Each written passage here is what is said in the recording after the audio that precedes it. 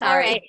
No problem. So, hi, everybody. Today we're going to be going over starting solids, which is an introduction to feeding your baby. Um, now, I'm here from Little Eaters Academy, which is nutrition counseling workshops and one on one nutrition counseling. And I cover pregnancy, postpartum, breastfeeding, first foods, baby led weaning, toddler nutrition, preschool nutrition, and everything is with an intuitive eating approach, which we'll talk a little bit about what that means today, too. Um, I just want to introduce myself. So, my name is Christina Toscano. I'm a registered dietitian nutritionist, and I'm also a mom to two little eaters of my own. So, I have a five year old and a one year old. So, I've gone through all of these stages, and I'm still going through some of these stages myself. I did put my email address and my phone number here um, in case anybody has any questions after today. You're definitely welcome to reach out to me, and I can always provide you with whatever resources I think might benefit you. So, to start off, um, I just wanted to start with this. You're at a very special point right now in your child's life because you are able to set the foundations for what sort of relationship your child is going to have with food throughout their life. So I want you to just take a moment to imagine the best case scenario that you would want for your child. I'm a big believer in envisioning things and making them happen. So thinking about it, what sort of relationship do you want them to have with food as they grow up? So for this, feel free to unmute yourself and share if you'd like to, um, so we can kind of brainstorm together. But in a perfect world, how would you want your child's relationship with food to be? Um, I kind of brainstormed reflecting on my own children and what I want for them as they get older. So here are some ideas that I came up with. Um, for me, a healthy relationship with food for my littles would be that they eat food and nourish their body, and that it gives them the energy to do the things they love. That they recognize and respect hunger and fullness cues. I know one of you was talking about that, about being able to tell when they're hungry versus full.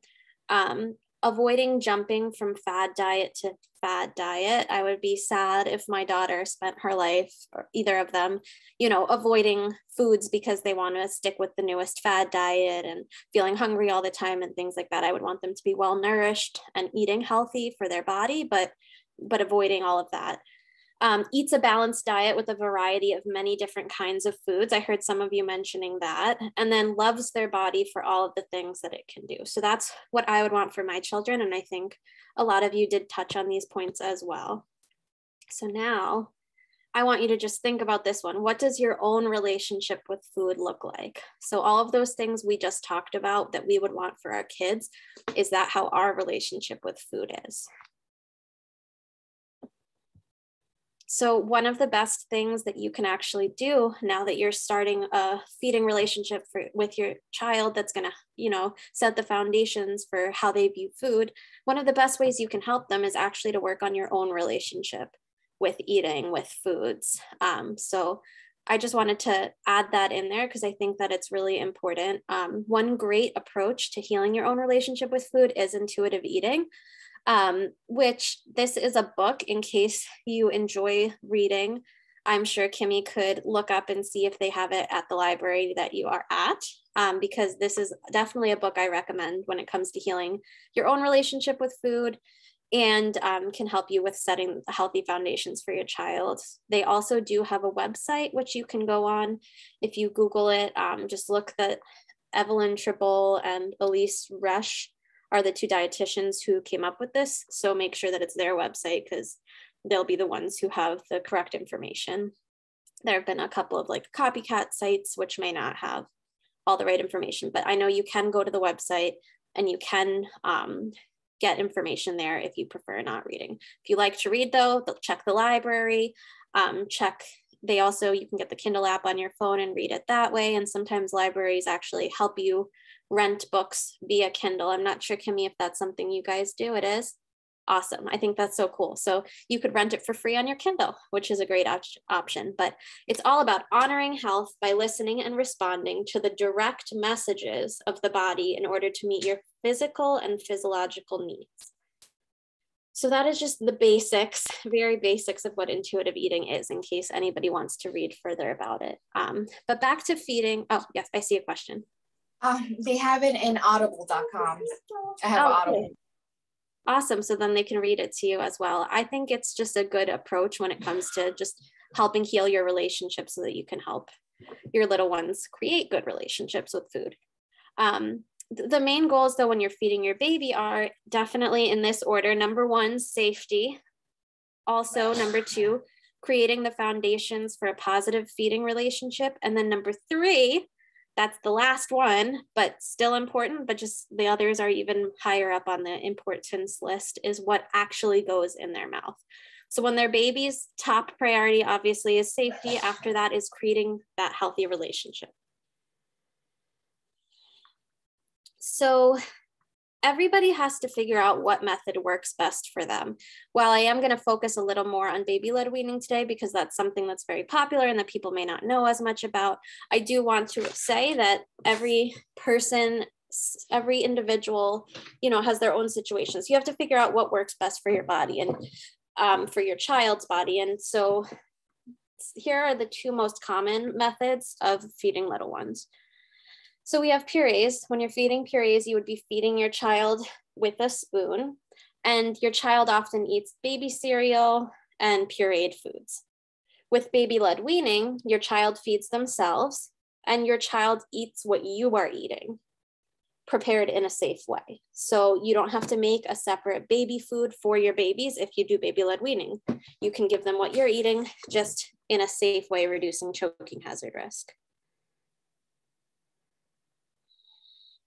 So here's another comparison between purees and baby-led weaning. So with purees, your baby is eating alone, meaning you're sitting there and spoon feeding them so you can't be, you know, having a family meal and eating yourself. With baby-led weaning, they actually encourage family meals all together. So you eating yourself, your older children eating also everybody eating at the table at the same times because your child will pick up a lot on your eating habits that way.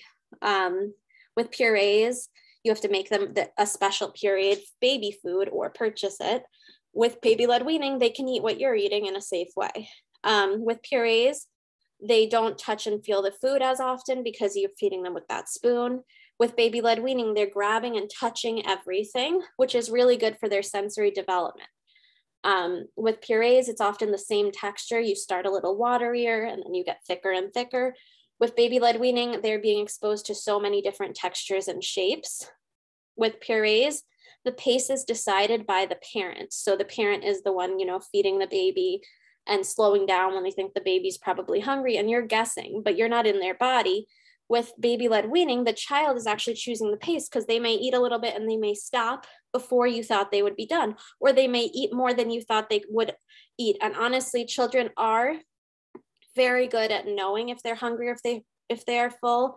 Um, they know their signals better than we know ours after years of you know diets and other factors influence our ability to tell when we're hungry and full but children are born knowing um, unless they have some sort of disorder or something they're usually the best bet. So it may seem like they're eating a ton or it may seem like they're living on air but as long as they're growing well in the growth curve, it's actually good to kind of let them do their thing. So with baby led weaning, the baby is actually choosing their pace. They're going to stop when they're done, and you're not going to, you know, encourage them to eat more. You're just going to let that be it. Um, and then with purees, they're kind of getting unexpected bites sometimes. With baby led weaning, the baby is consciously choosing each bite. So that's kind of a comparison of the experience. And you can kind of think of it yourself too. Like, how would you feel if you're kind of sitting there and somebody's just, um, you know, bringing the fork to your mouth and it would be a lot harder to listen to your own self telling you if you're full or hungry. Now, eventually the baby will probably turn their head. So if you are choosing purees, it's very important to pay really good attention to their cues and to slow down and let them, you know, stop when they're st- they want to stop, even if there's a little more food in the baby food container. Now, we said safety was number one. So, here are a couple of tips on how to create a safe eating environment for your baby because that is so, so important. Number one is something that Kimmy mentioned she did, which is definitely recommended, is having anyone who's caring for your baby attend a training on CPR and also first aid and choking. So they'll tell you what to do in an emergency situation, which of course we would like to avoid, but it's also good to have that knowledge just in case as a backup. Um, next is serve food in a safe way. So you want to avoid choking hazards and be present. So you don't want to, you know, be sitting there on your phone and not even like looking at baby while they're eating. You want to be very engaged and paying attention. Um, next is don't start solids until baby is ready. That's an important one. And we're going to talk about how to tell. And then if you choose to baby led wean, make sure that you allow baby to feed themselves from plate to mouth. So if you're baby led weaning, what you don't want to do is take a chunk of food and hand it to their mouth for them to, you know, bite onto. It's important that they be the ones to bring it from wherever the food is up to their mouth. So here are some foods that you want to avoid in order to keep baby safe and healthy. So we have, have, a question. Yes. I have a question for Steve. Let's say you see how if I try baby led weaning, we don't we don't eat with our fingers. Let's say me and my husband, it's just us three. Yeah. And even even with the purees now, like let's say I leave him for one second, like to go get a napkin. Instead of him grabbing inside of the plate, he'll like grab the the spoon to put it inside the plate, you know? So oh. how would I do you think eventually he'll just grab the food or should I like put food and a utensil down? It depends. You could do a little of both depending on what kind of food you're serving. Um, okay. Okay. We'll talk about the shape if you want to try baby led weaning. That is ideal. And if you're giving something oh, in that shape, it'll be easy for them to pick up. But I was actually talking about this before we got started with with Katie here. Um, they sell certain spoons that are very baby friendly. So there's one, I think the brand is like Sprouts or something. I got it on Amazon and it looks like a green thing with a triangle at the end and it's soft. And it's the perfect shape for the baby to hold. So you could dip a little bit in whatever it is and then hand the baby the spoon and see if they're able to bring it to their mouth that way. So that's an option, but also that would be in combination with, you know, offering the the long, thin strips of food, which we'll talk about soon. But that was a good question. Um, so foods to avoid, we want to avoid small, round, sticky, and hard foods because those are all choking hazards. So these are just some examples. It's not every choking hazard, but some common examples that you want to just avoid. Um, at least giving whole would be raisins. You want to just completely avoid at this age. Um, you know, unless it were blended with a liquid and then a completely different texture. But raisins, we want to take off the list. Grapes are another one because they are small and round. So that's a, a definite choking hazard. However, there is a way to cut them very thinly in half long ways and then in half again so that they'll be thin strips. Um, nuts, we definitely want to avoid is, or thickly spread nut butters. What you can do if you're introducing nut butter is make either mix it into something so you don't have that sticky texture or put a very, very thin bit on something like a cracker. And what that does is that keeps it from being balled up because the nut butter can ball up and make that round, sticky shape. Um, we want to avoid pieces of raw carrots, like baby carrots. Those are too hard for baby and they won't be able to chew them down when they're first starting. Same with pieces of raw apples. So anything with a similar texture to that, you want to be extra careful with. So you don't want to just give them a chunk of a raw apple. You could um, boil it and make it soft that way with a little bit of cinnamon or bake it and then see if the texture is softer um, if you want to be feeding them apples or pears. Some breads are also choking hazard because if they bite the bread, sometimes they it will clump up into that ball shape as well. Um, biscuits, for example, are one that really takes the shape when you're eating them. So you want to be really careful with bread. You don't want to just hand them a big thing of bread. Um, and then we went over nut butters. The next ones to avoid, and this is for foodborne illness reasons, would be honey until they're a year old, because there is a foodborne illness called botulism that is very dangerous for babies.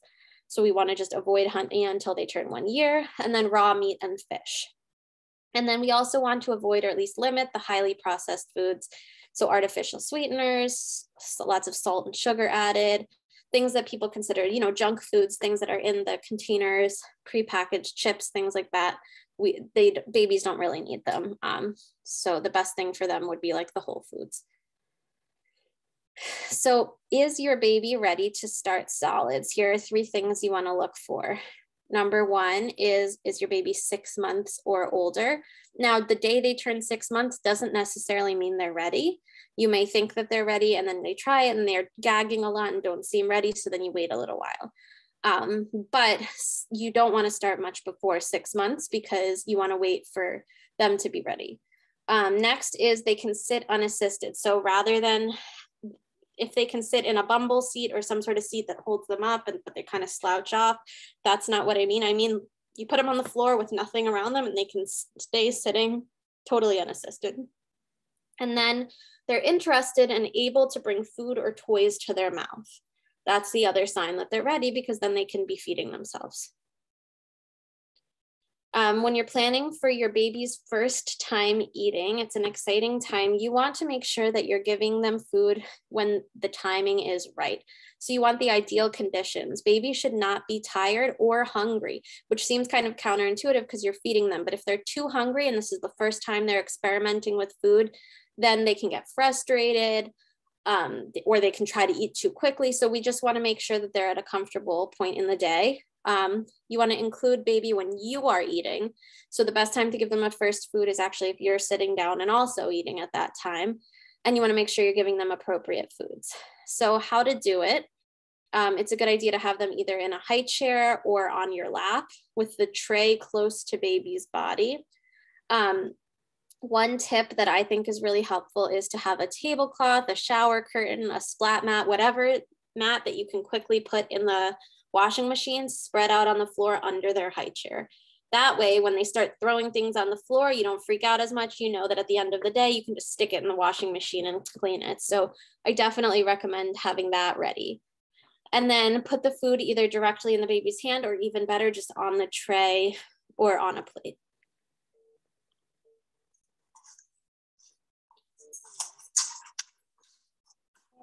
This is my, my baby having her first food and she mashed up the avocado a lot herself. So it's not exactly baby led weaning wedges, but it was just kind of for her to taste and play with and get messy. Yum. That's my husband. but as you can see, we're a little bit extra. We did a whole avocado thing because we were excited about her having avocados. Um, so choosing a first food, whether it's puree feeding or baby led weaning, here are some ideas. So if you're puree feeding, a lot of the time pediatricians will recommend baby cereal because it has iron added, which we'll definitely talk more about iron later. So if you choose to do that, it can be a great idea to mix it with breast milk if you're breastfeeding so that they're getting some of the antibodies and that they're having a flavor that they're used to. You could also do any other type of puree you want. Some people have the theory that you should start with purees that are vegetables because they think that once they have the sweet fruit, they'll never eat the vegetable because they'll only want the sweetness. So it's really up to you what you think and how you want to do it if you choose to do puree feeding. If you choose baby led weaning, you can start with pretty much anything. I would just start with something that's kind of one ingredient. Um, so here is a list of some ideas and how to prepare them. Um, which I can email out this handout to you because I have the, the blue part is actually a handout so that you can see how to prepare them. Um, but some ideas you can start with are bananas, sweet potato fries, which would be baked usually, um, long thin strips of omelet. Some people start with a chicken drumstick. They just remove the pointy, pointy uh, bones. So those are, you know, the really intense baby led weaning people. Um, pancakes that are soft and not going to ball up, but that are going to fall apart, and long strips of avocado that is also soft and ripe. Um, so here is the ideal size. First foods should be offered to baby. They, they should be easy to grab because their coordination is very limited.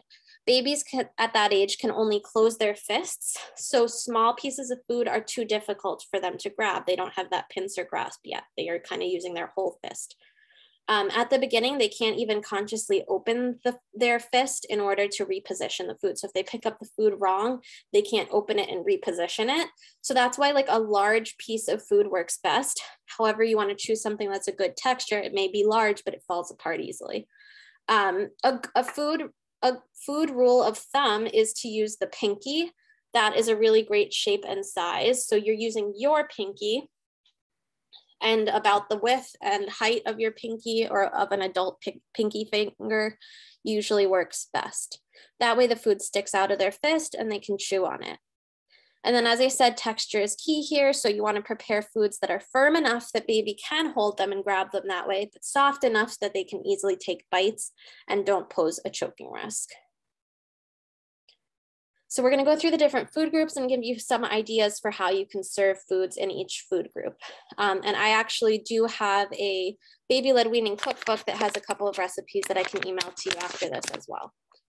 So meatballs are actually a really great starter food when you're introducing meat or meat alternatives because you can make them so that baby can hold them but they fall apart easier. You don't want to use you know those rubbery pre-made meatballs that are like a hard circle but if you're thinking like a homemade one that kind of falls apart that can be a really good option.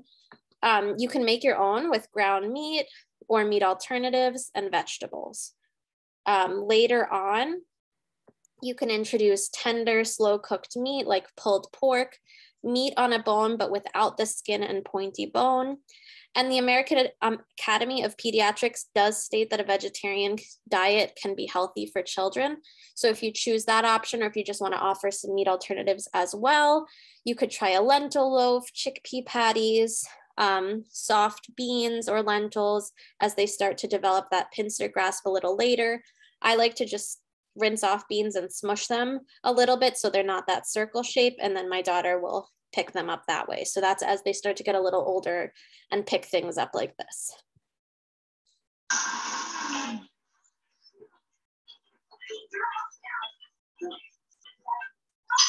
What do you think, Ava? Yum. Yum. So that's my daughter having a meatball last night, a veggie meatball. Um, we're vegetarians, so she was having a plant-based one with peas and other legumes and things, but she really liked it. And as you can see, it's pretty easy for them to hold. So when you're serving veggies, you wanna serve big pieces that are hard enough to hold, but soft enough the baby can take bites easily. You could roast them, steam them, boil them, or pan fry them.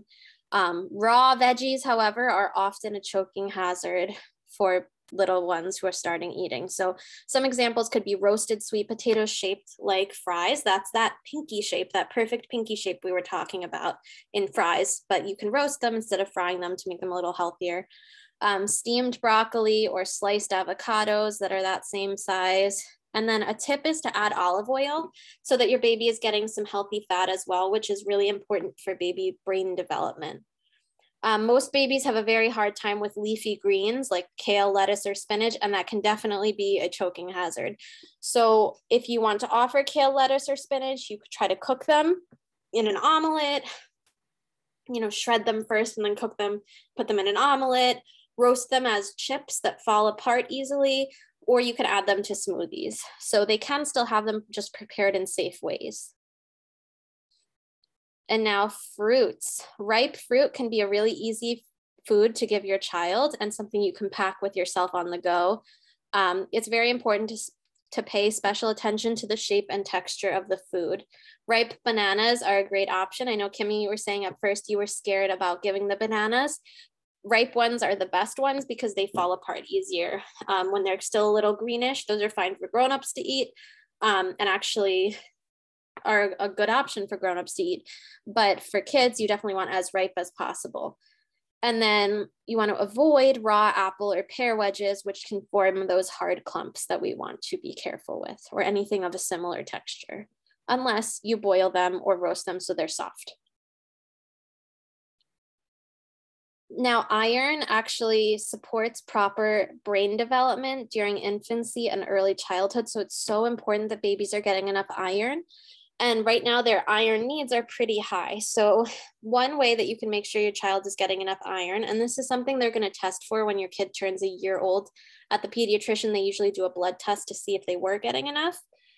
Um, but if they're not one yet, or you're not sure, it's a good idea to try to make sure they are getting enough. So, one trick that you can do to make sure that the meals have enough iron for your baby are to choose one food per column and you can always look up and add more ideas but it basically you want to choose one food high in iron one food high in vitamin C, and that's because vitamin C helps the body absorb the iron. So together they help each other and they're important to pair and have at the same meals.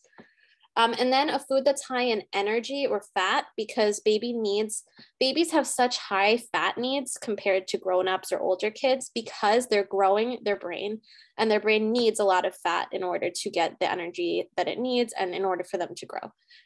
So you're choosing an iron, a vitamin C, and a high energy food. So an example here, we have an omelet. Now, if you do an omelet, you would cut it in very long strips that are kind of pinky width. Um, then for vitamin C, we have a piece of kiwi without the peel. And then for energy, we have a large wedge of tomato, which that's not a fat, but then with olive oil coating all over it, and that is the fat. So that could be one meal idea. And this is another handout I can always send you, um, but it just gives a bunch of different ideas within each group. But the idea is if you're choosing one from each of these, then for at least two meals or so a day, then you know your kid will be, you know, getting exposed to enough iron. Iron is also added to baby cereals. So if you are giving baby cereal, um, because you're giving pureed food, make sure that it has it added, but it usually does. If you're not giving um, pureed baby cereal, you can actually use it to bake. This morning, my daughter is downstairs right now eating a muffin that I made because she's baby led weaning. I didn't use the um, baby cereal to give her a puree. What I did was I baked it with mashed banana and an egg, and I made a muffin and applesauce. So it was a little naturally sweet. And um, yeah, so that way they can also have the iron fortified baby cereal, even if you choose to do more of a baby led weaning approach.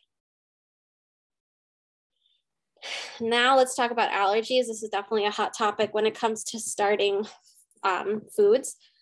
Introducing common allergens early and safely can actually help reduce the risk of developing allergies later in life. This is kind of new information that they found out because in the past they would say just avoid it when they're babies, but then they noticed that the rates of allergies were going up. So they realized it's actually good for them to have some introduction to these allergens. However, I recommend, you know, spacing it out. So you don't want to in one day give them a whole bunch of allergens. You want to introduce one at a time, maybe wait three or so days, just if you want to be extra safe. Um, if you have a high family history of allergies in your family, definitely talk to your pediatrician first and come up with a plan for how you want to do it. Me being me and always being extra careful, I only like to introduce allergens during a time when I know my doctor is in. So, like, I wouldn't do it, you know, on a Saturday night I would do it Monday to Friday before 5 p.m. just because I like to be extra careful. Um, I know my sister was really worried about peanut allergies. I guess she had a relative on her husband's side who had one.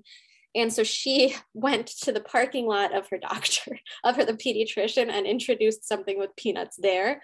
Um, and my daughter actually has a bunch of allergies. So we're going to do a, a test where we introduce something to the baby in the allergist office. I made an appointment. So you have options where you can do it safely, but it is a really good idea to introduce them in a safe way, um, depending Cristy, on. Um, I I was also very nervous, yeah. and um, I went to um, a hospital parking lot, and there you go. See, peanut butter because I was just like so stressed about it. And he was fine. But and like I remember there was a security guard that like drove up and was like, Is everything okay here? I was like, Oh yeah, just introducing giving my kid. That's awesome. Yeah. Time. And he's like, Okay. And another trick, if you're worried about something, you can, like, for example, peanuts. That's a common one. Um, if you're worried about that, you could put it on their arm first and see if they get any sort of skin reaction, because that could also tell you. Um, here I have pictures of the most common allergens. You can really be allergic to anything, but these are the most common ones. We have eggs, nuts. So that could be tree nuts like almonds, cashews, hazelnuts, or it could be peanuts. Um, we have soy, which would be like tofu or edamame, um, milk, dairy, and then shellfish or fish or any kind of seafood. And now, a really common one that is growing and growing right now is sesame seeds. That's something we don't think of, but it's kind of getting up there with peanuts now, where kids are having more serious reactions to sesame seeds. And then grains, so wheat, um, like bread, flour, pasta, those sort of things. So, when you introduce any of these foods, you want to watch baby for any signs of allergic reactions. That could be swelling around the mouth, redness, red dots. It could also be diarrhea, vomiting. Um, and the reactions usually occur within 15 minutes. So you want to introduce a food, wait 15 minutes, monitor them. And then if they do fine, you could start another food a couple days later. So that is the basics of introducing allergies. Um, so we've talked a little bit about creating a healthy relationship with, with your own eating. We've talked about, you know, safety, what to choose for their first food, what kind of environment to do it in, how to serve foods if you choose baby led weaning. Um, so I just wanted to go over a little more about creating a healthy feeding relationship for your child with eating. So there's something called the division of responsibility. And what that basically is, is when you're feeding your child, who should decide what?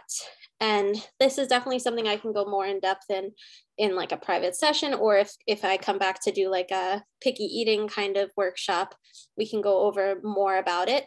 But basically, it's really important to kind of stick to your own responsibilities when it comes to feeding and set that up from the beginning. So in an ideal world, the parent would decide what is served. So for today, for lunch, we're going to have this food.